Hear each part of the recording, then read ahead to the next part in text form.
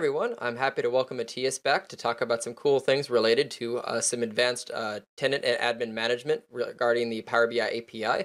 We'll actually learn some cool features uh, using Visual Studio and actually connecting to that and seeing how we can interact with the Power BI service in a lot of unique and interesting ways and maybe even see a few automations. Uh, do you want to give a bit of uh, context on what we'll be going over today, Mathias? Yes, absolutely. Uh, thanks for having me again. Mm-hmm. It's always a pleasure. Um, people who know me uh, know that I'm uh, very interested in automation uh, and uh, any uh, can be scripted, uh, and that means the the Power BI API provided by Microsoft mm-hmm. is actually a, a, big deal. however, I found, and I think many people would agree with that, it's not super easy figuring out uh, yeah. how to use the API, what it can do for you, and how to get started. I recently discovered an extremely useful uh, Power uh, uh VS Code extension, um, which I think helps enormously in, in terms of using the API uh, interactively. Uh, and I basically wanted to share my experience with it, and, and hopefully people will find it interesting. Yeah, let's dig into it. I'll go ahead and switch over to your screen here. Okay. All right, fantastic. Um, so I've got VS Code open here. Um, in fact, uh, if you've seen other of, uh, of my presentations, uh, that's usually where we end up.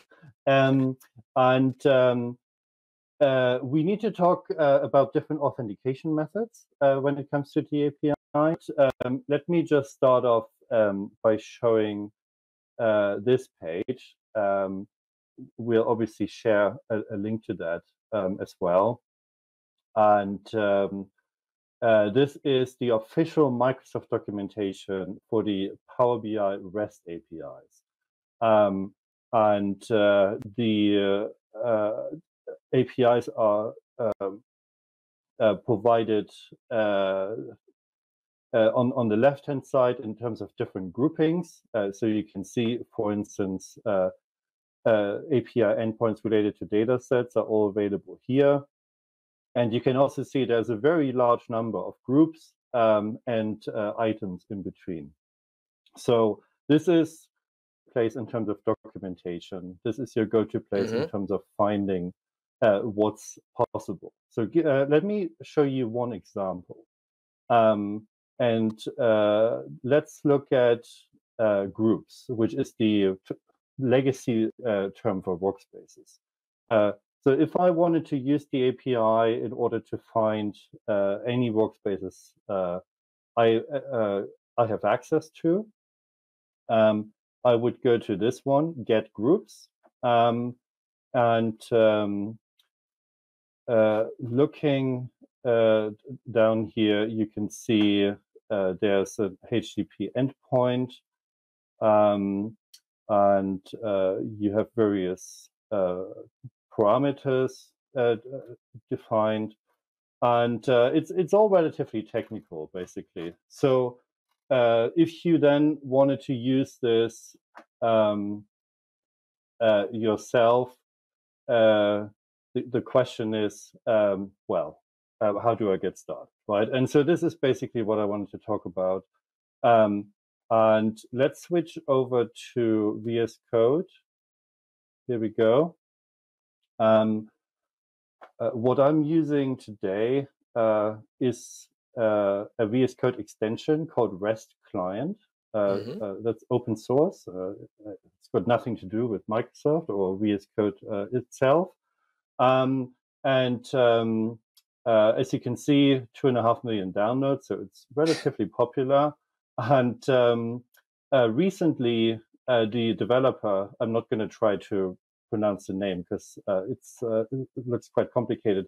Recently, the developer um, uh, made an uh, update which um, allows us um, to use the Power BI API in a, in a very comfortable way. Um, so let me show you what that looks like. Uh, when the extension is installed, um, it will recognize two additional file extension within VS Code, uh, .http or .rest. Um, uh, they're both um, doing exactly the same.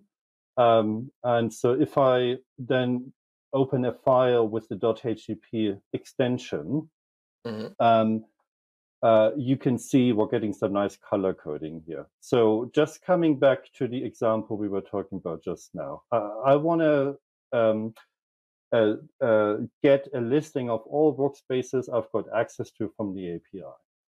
Um, and uh, what have I done here? So first of all, all API endpoints um, have in common this base URL. Uh, in fact, if I just switch back to the Chrome window we were looking at just now, we can actually see that, right? So this is um, um, always going to be necessary as a starting point. Uh, the extension um, allows us to define variables, um, making uh, it very easy for us to actually define this in one place and, and just refer back to it. So basically down here, I'm referring to base URL, this particular variable, and then I'm saying slash groups. And the other thing the extension does for us is this. It puts a very uh, convenient uh, hyperlink uh, just above this get uh, uh, request, which when I click it, as you can see, mm-hmm. will make the call um, and it will then open a, a new side panel, uh, giving me the uh, results from my API call immediately. Uh, that's pretty much all uh, that's needed uh, in terms of getting started here.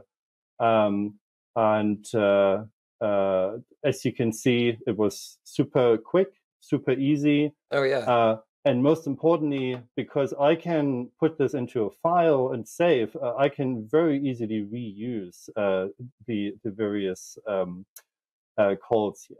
Now, um, there's a little more to it, obviously. so you can see uh, uh, the authorization line here. Obviously, in terms of using any APIs, uh, we need to authorize. We we need to make sure the API endpoints knows who we are and this is actually where the extension comes in uh, and and uh, where the extension uh, does something super useful for us because uh, the extension has built-in support um, for what they call an AADV2 token.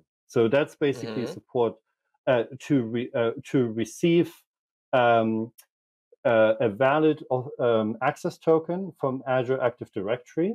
Um, and this is the feature I was talking about earlier. This is a feature which mm. um, uh, was only added recently to the extension. Prior to that, um, that wouldn't have been, um, well, actually, it would have been impossible.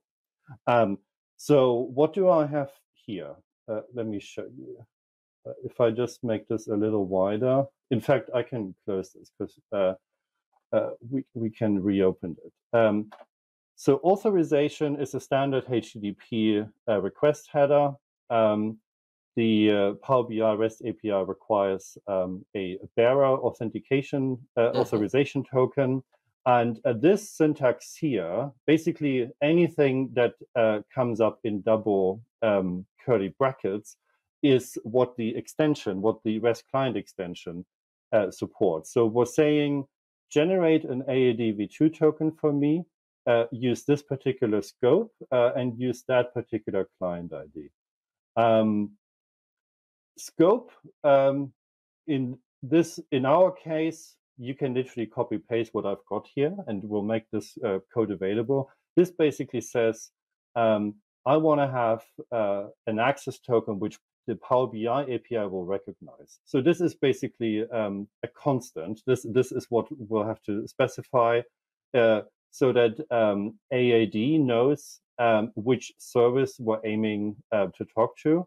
And gotcha. client ID is uh, an application which I've registered um, inside um, mm-hmm. my own uh, Power BI tenant. If I switch over here, I'm logged in uh, as a uh, tenant admin, and the application we're currently using is that one. I gave this a arbitrary name, Power BI API delegated. we can see 3A51. Uh, that is the, the same GUID I referenced earlier. And there are two requirements here, um, which are quite important. Uh, first of all, um, uh, I did specify allow public client flows. Uh, without that, um, it would not be supported um, by that extension. And uh, that by default is disabled. So you have to make sure uh, that you actually turn this on when you create a new um, application. Secondly, we need to specify some permissions. Um, and uh, uh, you can see um, I specified three Power BI service uh, permissions here, data set, report, and workspace, read, write, all. Um, and I've also uh, provided admin consent for those, which means that uh, any uh, user in the tenant can actually use that application without having to explicitly uh, provide uh, consent again. It's just um, a way of uh, simplifying this. So with all of that in place, um, we get uh, what we've just seen. And um, I've actually um, uh, uh, I've, I've, actually um, cheated a little bit because I had this uh, session of VS Code open uh, be- before we started the call.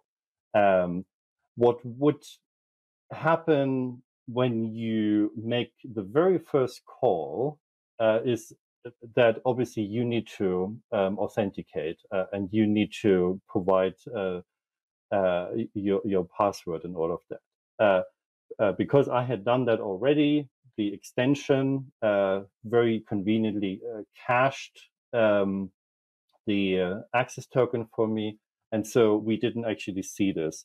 Uh, however, um, what you yep. can do uh, whenever you want to um, uh, force uh, a, a, new access to- token to be created for whatever reason, you can actually put new in here as a keyword, and it has to be in this uh, specific um, position. It has to be um, uh, right after the dollar AAD V2 token. When I mm. now click request, it will uh, completely discard what's currently cached and it will actually run me through the authentication flow. So let me just show okay. you what that looks like.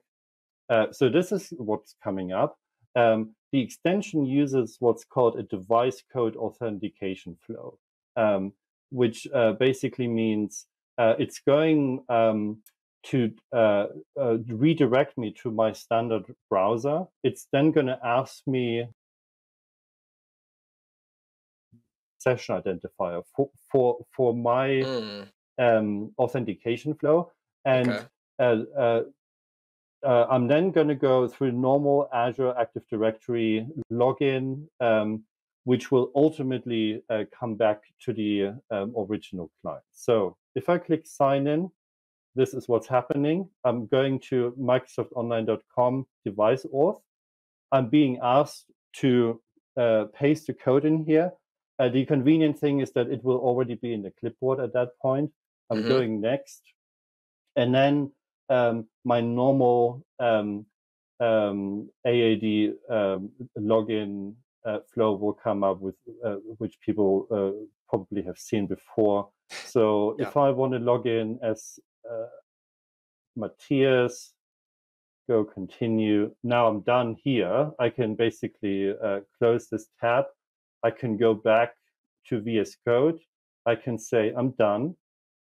And there we go. So now it's received um, the access token and any subsequent requests I'm now making will actually uh, uh, use that same cached access token, which means what I've just done was only necessary once for each session.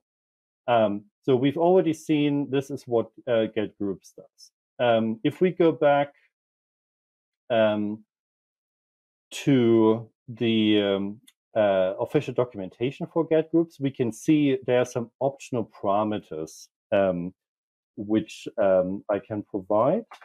Uh, sorry. Um, and links for all these will be down in the description for everyone tuning in as well. Yeah, absolutely. So there are some option parameters. I can specify a filter, I can specify a top and a skip. Um, and um, if we're looking at the uh, definition of filter, uh, well, there isn't uh, very much here. Um, but if we scroll down a bit further, we can actually see an example. Um, get a list of workspaces using a filter example. If I click on that, um, we can see that we're using a contains expression. Uh, but the uh, syntax for that, by the way, is the, uh, the default OData syntax, uh, if you yep. want to look that up. So I've got an example here where I'm using exactly that because you can see the user I just authenticated with actually has access to uh, a very large number of uh, workspaces. Um, using the filter syntax and actually using a name equals expression in here, um, I can make the same call uh, and uh, uh, specifying one particular workspace name, right? So uh, a use case would be, I know my workspace name. Um, however, I need to look up the ID for it because um, I need to reference the ID in other API calls. Um, and again, this is where the REST client um, extension comes in super handy because I can now pass this particular value, which is the one I'm interested in. I can I can read that from my response, and I can put that into a variable, which which is then accessible to subsequent calls. And that's precisely what I'm doing here. Uh, so uh, basically this is my uh, get request, here is my authorization, and then down here, I'm specifying a new variable, um, add workspace ID, and uh, I'm referring uh, to this particular request, uh, having given it a name, and then I'm saying from the response uh, and the body, uh, give me the ID um, uh, property from the first item in the value array, right? This is what's called uh, a JSON path expression. Um, and that now means that this value 5C32 and so on and so forth is now actually available inside here. And um, even more conveniently, when I hover over, um, again, this is what we're getting from the extension, it's even showing me that. Uh, so when I now go uh, to another call that references this variable, like so, um, um, I'm now able to receive uh, to retrieve all reports um, uh, inside this particular workspace. So this is another um, API uh, endpoint. Um, if we go back to the documentation, I'm just going to switch back here for a second. If we go to reports and say uh, get reports in group. Th this is precisely what I'm doing right now. Mm-hmm. So slash groups group ID slash reports report ID. Just switching back now. And then um, over here, I see there's currently one report in this particular workspace. It's called report two.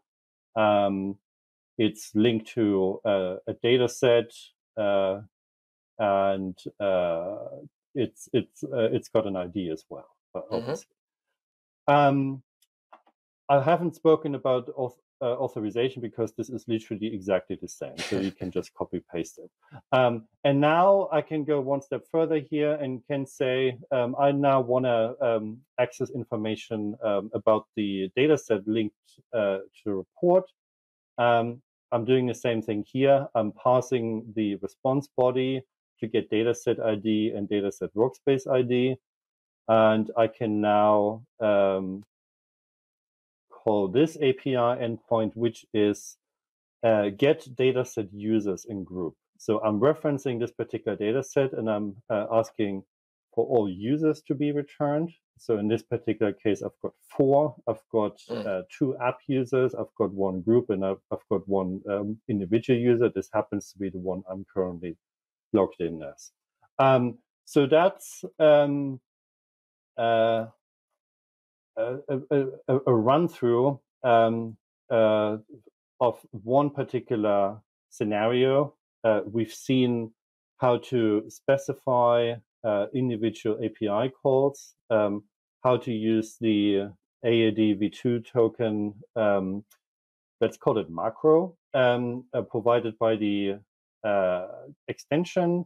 We've seen how we can use variables, uh, uh either um, with static values or with um, uh, uh, response uh, specific values and how we can basically you know create a whole sort of uh, workflow here um, by literally uh, starting off from Microsoft's API documentation, grabbing um, what's specified here, and then just pasting it into a script file. Um, uh, any other way of uh, trying to achieve the same thing would definitely be much more um, involved. Uh, Postman uh, is uh, obviously uh, an app or a client many people are familiar with, um, but if you already spend um, a lot of time in VS Code when it comes to um, developing, then I think it's extremely convenient when you can actually stay in the same tool to make some API calls. Um, however, there's more. Uh, unless uh, you've got some questions, Reid, or anything you wanted to add here. I'm just loving the the the simplicity of being able to like relatively, obviously, um, to be able to set up and then start extracting out a lot of the the information. I think it exposes it very easily, and uh, to you know, from my experience of dealing with clients, it's like anything API can kind of be scary because it, it's you know like that mm. you start digging into code and stuff. So I, I think this the this shows not only the, the the accessibility of the connection, but then also the I'd even say the readability of the outputs, just to be able to get uh, uh, good quality data and uh, and information from your tenant uh, mm-hmm. right out, and then be able to pop that in in, anywhere else to uh, to use that for for administration analysis mm-hmm. or or however you'd want to use it for your organization. Absolutely. Uh, as I said before, I personally use the API a lot, you know, for instance, as part of PBI tools. Um, being able to actually test stuff out and script it and, and see what works and what doesn't in this particular way is extremely useful mm-hmm. uh, and, and valuable. Um, so I, uh, when I started, I said um, uh, there were various authentication methods uh, for us uh, to think about. Um, in fact, there are actually four um, uh, different flows uh, which um, are possible as uh, in respect to the REST API. What we've looked at is what I call the workspace delegated flow. So what does it mean? Uh, um, delegated um, is uh, I'm logging in um, with specific credentials interactively, right? So this is the flow uh, we've looked at initially when uh, the device code popped up and I had to move over to my browser um, and uh, had to then uh, log in and all of that. Um, and uh, I called this workspace because um, using this particular method, I basically only have access to any workspace I'm a member of and, and the artifacts within the workspace. When it comes to APIs and automation, what we usually prefer to use are service principals. Uh, service principals uh, basically allow us um, to uh, completely get rid of the interactivity part in here when it comes to authentication um, and to effectively uh, use uh, a username password that's assigned uh, to a process or, or, or to an application. Um, and that's also supported uh, using uh, the extension. And it, in fact, it's actually supported in a very nice way. So let me show you that too. If I switch uh, to this file, and if I uh, show you, uh, let me just close a few tabs here. There we go. Um, so this is actually exactly the same file we looked at earlier. Uh, however, what's different is the authorization header. Uh, in fact, it's much simpler now. Um, we're still specifying we want to have an AAD v2 token, and now all, all I'm saying is app only uh, as opposed to client ID and scope. Um, so this is taking advantage of another feature which uh, comes from the um, extension, uh, if you look down here, and in fact, let me just make this a little bigger. If you look into my status bar in the bottom right corner, um, uh, uh, you've got uh, this field which allows you to actually specify a profile um, which is predefined with um, service principal authentication details. So this is um, um, uh, what the extension is calling an environment. And as you can see, I've got five entries in here. Local and production are just some uh, uh, uh um, placeholders, but down here, uh, I'm actually specifying uh, uh, credentials for three different service principals, which are set up in my uh, tenant. Okay. Um, so if I select this one now, you can see it changes down here.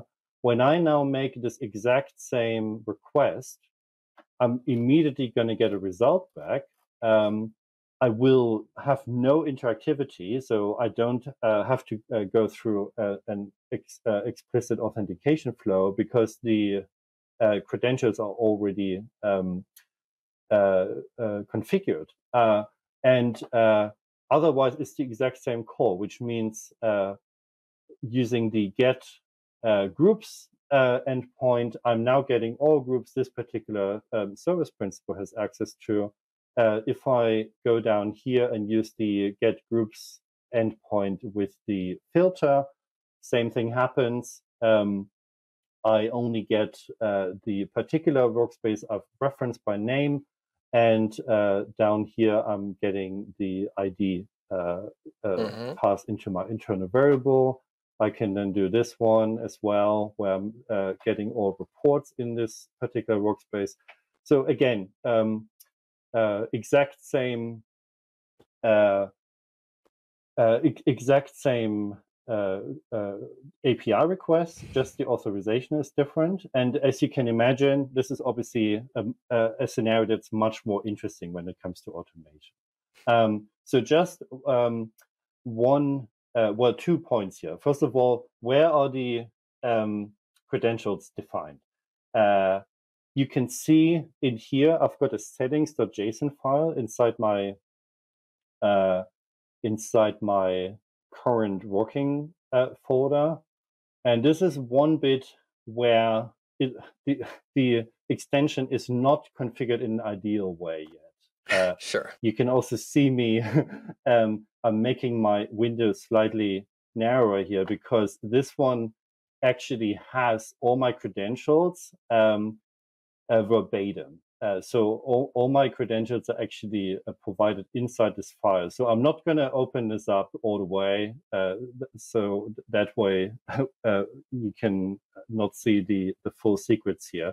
Um, but this is basically where it's coming from. Um, and currently, and I think we need to, uh, you know, work with the extension author. there, there is no more secure way available of, of actually defining those secrets. Uh, I I'd love it um, if if it were able um, to actually grab those from my machine environment, for instance. Uh, that's not currently supported, but again, it's an open source um, extension, and uh, uh, uh it's definitely something uh, that, that um, people could work on. So um, the uh, three different settings we've had earlier. Uh, this is where they come from. Uh, you specify tenant ID, um, you specify client ID and client secret, uh, which is what defines the service principal. And then app URI, uh, that is the um, resource ID. Um, uh, uh, uh, with respect to, uh, to, the Power BI API. So that is exactly the same as what we had earlier uh, here, where we specified our scope.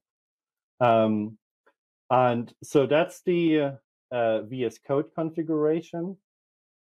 Um, the other place where service principals uh, come into play are one, in in the Power BI admin portal, um, you need to uh, go here to developer settings and make sure that service principals are allowed to use Power BI APIs. Um, and uh, here we go. And by following good practices, uh, I've got some specific security groups uh, defined here rather than um, making that feature available to the entire org. So I've got Power BI API principals, Power BI DevOps principals, two different security mm-hmm. groups, mm-hmm. and um, the if we look at those, so if I go here to groups and if I go to uh, Power BI DevOps principals, we can see that uh, the service principal I've just used is actually specified here. So with all of that in place, just switching back here, uh, this flow also works.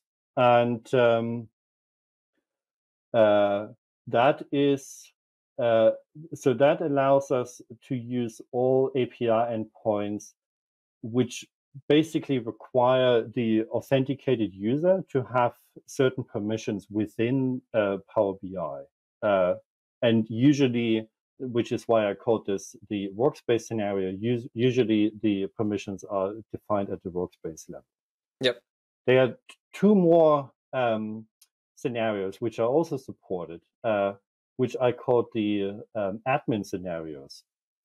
And uh, they are very interesting, actually and uh, allow you to have a tenant wide um, access uh, to uh, everything that exists inside your Power BI tenant, uh, provided um, you have uh, Power BI admin permissions.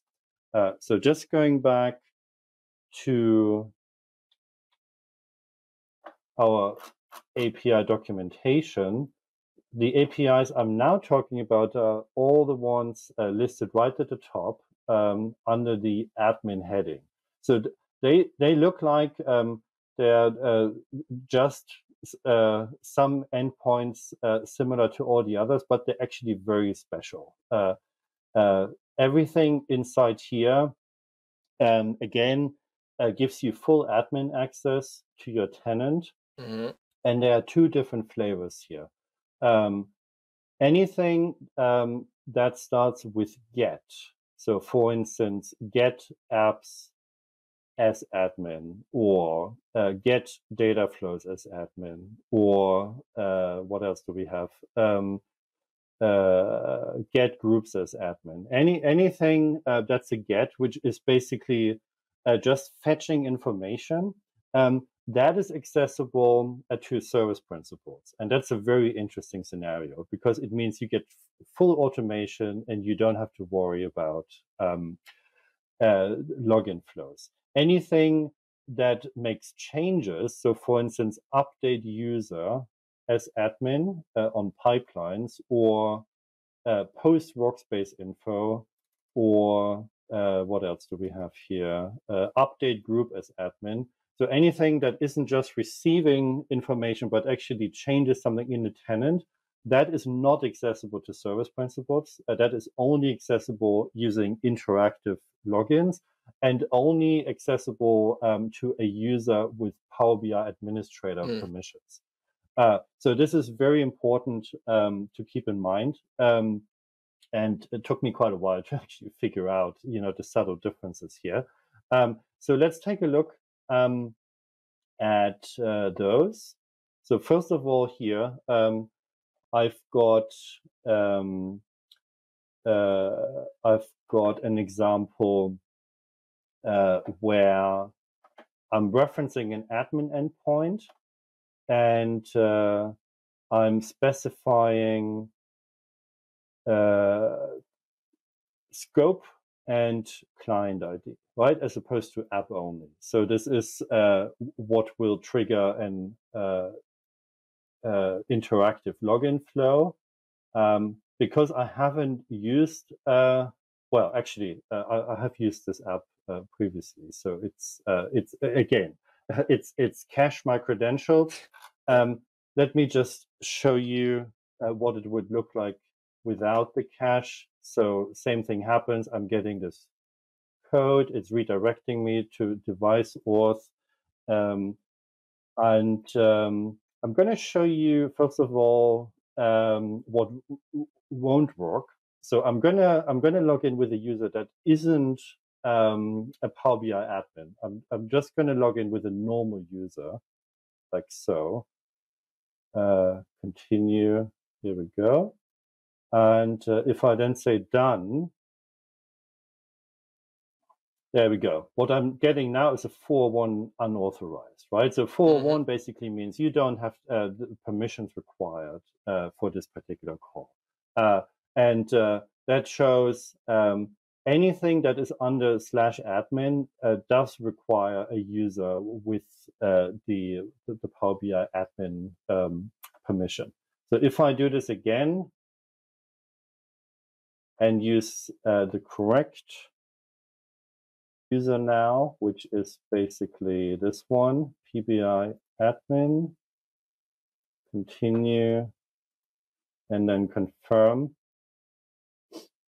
So now I'm getting a 200 OK, um, and now I'm actually getting results um, uh, for that endpoint. And what did I do? Admin capacities, right? So yeah, so this is now listing the capacities I've got. So uh, uh, I've got uh, uh, I've got an A1 here, which is currently suspended, and I've got a PP3, which is um, premium per user capacity, uh, which is active, right? Mm-hmm. So um, uh, that's that. Uh, if I then, I just noticed I haven't updated this yet. So if I then go down here and remove the new, it will use my cache token and it means I'm now getting a list of all my data sets uh, across the entire tenant. Um, and I'm getting that because I've authenticated uh, with a uh, Power BI admin um, user. And if I do the same thing down here, um, this is uh, a listing of groups um, as an admin user um, with an interesting feature. Um, so I'm just going to click this first. Uh, this is something which is only available to admins, as far as I'm aware. Um, you can specify dollar $expand, uh, which then allows you to basically retrieve all workspaces, including uh, uh, any of their contained artifacts. So this is a very convenient way of basically fetching everything uh, that's in your tenant. Mm-hmm. So here I've got one workspace called PBI Tools Demo, no surprise. Um, then I've got all underlying reports listed. I've got all users listed, and uh, I don't happen to have any data sets here. Um, but uh, uh, uh, again, this is uh, an uh, admin only endpoint. So what else? I can do the same thing for, for reports, but um, obviously I need to make sure I update this. Here we go. Sorry. Right. so this um, allows me to retrieve all tenant-wide reports. Um, there are currently 37 here. Um, and just to wrap this one up quickly, um, uh, the uh, um, sorry, let me just uh, go here. Uh, the admin uh, endpoints are also available for service principals. However, uh, very important, um, uh, only GET requests are actually possible here, right? Uh, so I, obviously I haven't shown any demo where I'm doing an update or a delete. I could have done that using the delegated scenario. Uh, with the service principal scenario, that's not possible.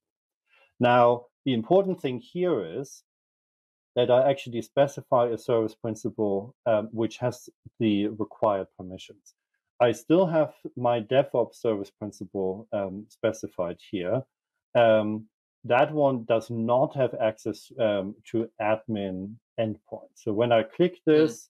I'm again, I'm going to get a 401 unauthorized, and uh, that's expected. So what I need to do is I need to go down here and I need to specify my read-only admin service principal. When I now uh, send the request, I'm getting a response. I'm getting a 200 OK. And uh, that one, again, will show me all my capacities. Uh, and obviously, those are um, exactly the same tool we've seen uh, previously. Uh, the same works for get datasets as admin, uh, get groups as admin, and so on and so forth.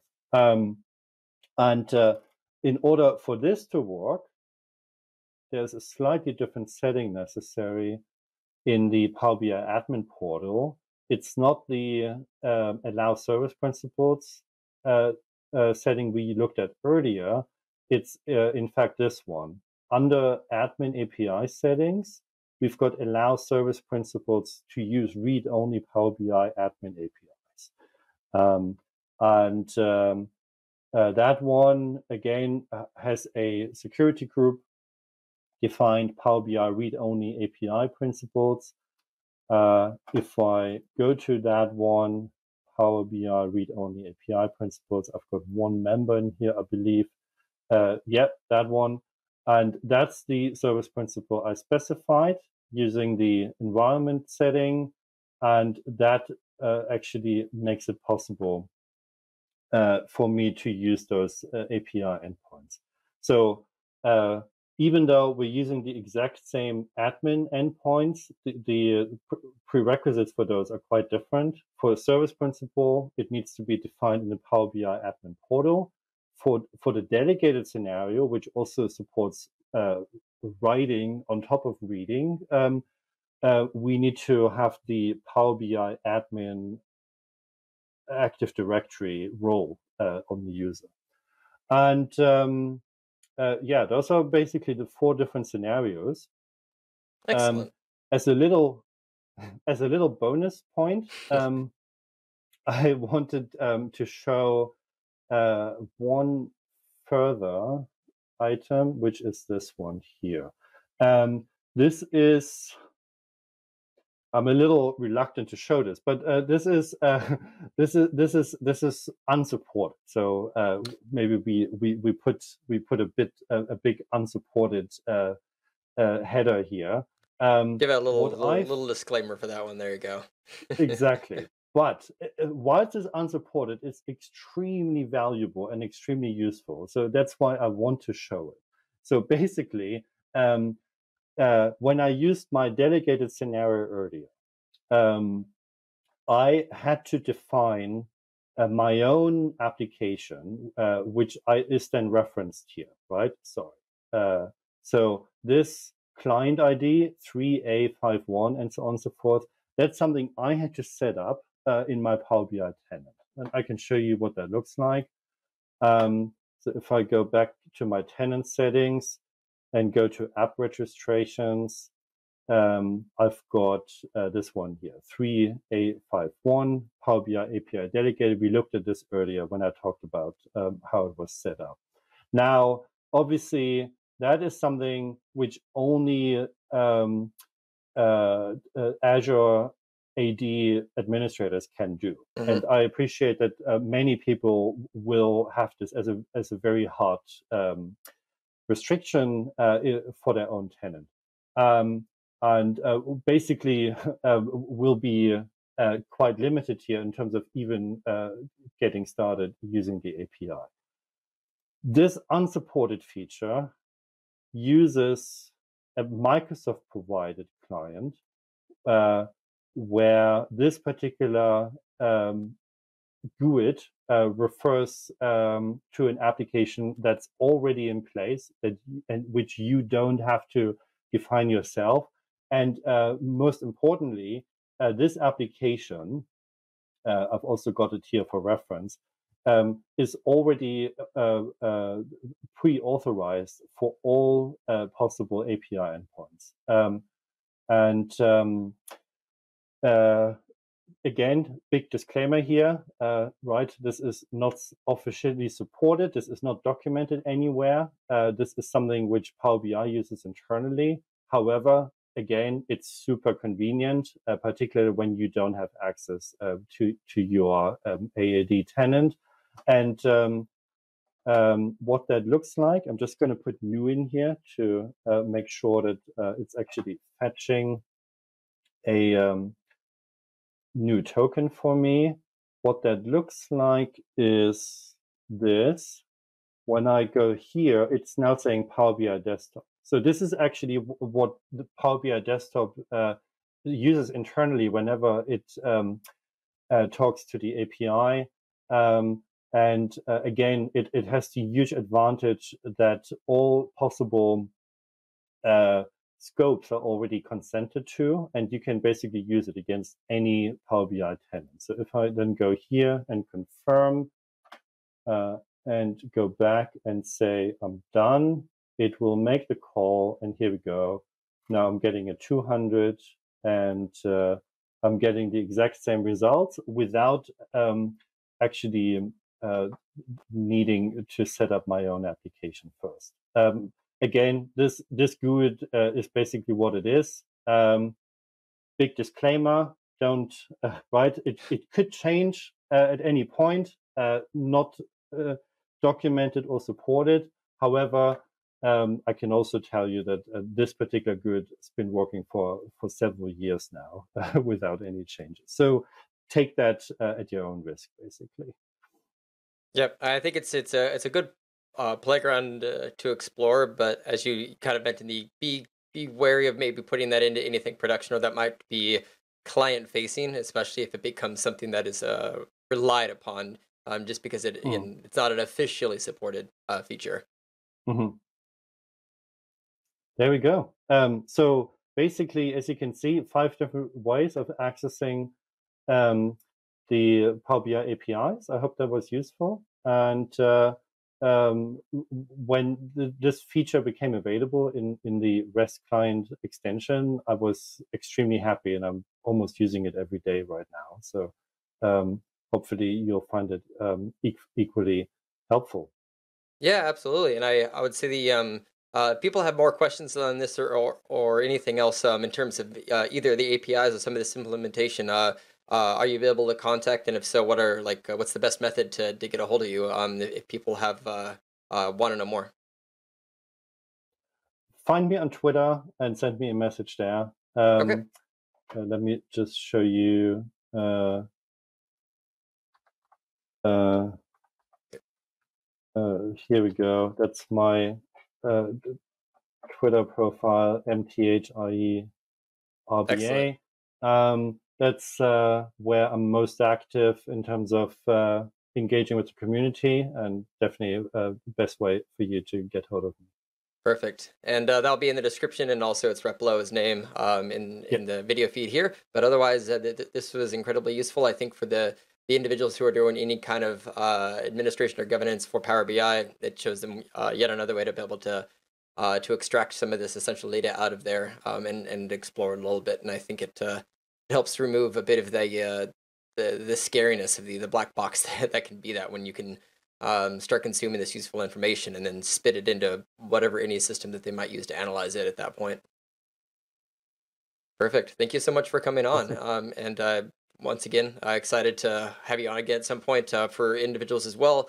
Uh, there probably was a mm-hmm. link at some point that popped up on this video that links to the tutorial series that uh, Mathias did with me recently as well, which is on his uh, Power BI tools um, utility that is available available for Power BI that helps you uh, do kind of a CI/CD and DevOps uh, um, deployment uh, either uh, with, with Power BI desktop files, either to GitHub or to uh, Azure DevOps. So I will encourage you to check that out as well if you're uh, certainly if you're into any type of administration or are even considering exploring the APIs like you've checked out in this video. That would be a useful supplementary video to check out as well. Mm-hmm. All right. And the uh, five script files I've just been using, I'm uh, going to make them available on a public GitHub repo. Mm-hmm. We'll put the link uh, into the description here, obviously minus uh, the, the, client secrets and all of that. Yeah. And, um, and so that should be a good, um, a convenient way for you to get started. Perfect. Sounds great. Uh, Mathias, thank you so much for coming on again, and I appreciate the the walkthrough on this. Thank you so much for watching. Please don't forget to like, comment, or share this video. Plus, if you have any comments for a future video, go ahead and add that to the comment section down below. Now, if this is your first time to my channel, or you want to see more of these awesome videos, please click that subscribe and notification button. Also, feel free to show your support by becoming a channel member.